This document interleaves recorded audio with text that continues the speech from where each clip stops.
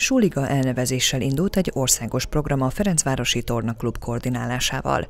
A Budapesti Sportegyesület egy nemzetközi kezdeményezéshez csatlakozva döntött úgy, hogy nem csak a fővárosban, hanem hazánk más településein is népszerűsítik a labdarúgást. Most a Baranyai Egyházas Kozár adott otthont az eseménynek, mint első vidéki helyszín tömbösítve egyrészt két meccsnapot játszanak a gyerekek egymással, a települések csapatai, illetve emellett paralel mennek bűnmegelőzési workshopok, mennek közösségfejlesztő előadássorozatok, fairplay tematikával előadások, interaktív programok, valamint drogprevencióval kapcsolatos előadások. A megye oktatási intézményei, illetve amatőr sportegyesületei vehettek részt a programon.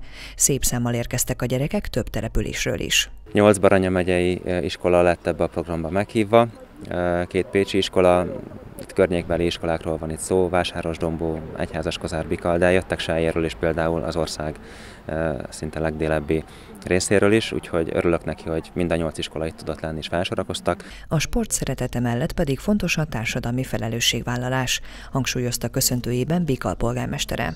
Kőműves József szerint a jó cselekedetekre való nevelést minél korábban kell elkezdeni. Akkor, hogyha a gyerekek ezt megtanulják és megszokják azt, hogy ennek a programnak a segítségével rászoktatjuk őket arra, hogy, hogy segítsenek mondjuk az időseknek, vagy, vagy segítsenek a közösségnek adott esetben padot festeni, szemetes kukát festeni, szemetet szedni, bármi mást, és tényleg amit elmondtam a megnyitóban is, hogy, hogy eljutunk odaig, hogy adott esetben amikor a gyerek, amikor fölsz egy idős ember a buszra, akkor, akkor átadja a helyét, akkor már leértünk valamit, és úgy gondolom, hogy ez a program erre tökéletes. A megye iskolásai közel fél órás mérkőzéseket játszottak egymás ellen, pihenisképpen pedig érdekes és tanulságos előadásokon vehettek részt.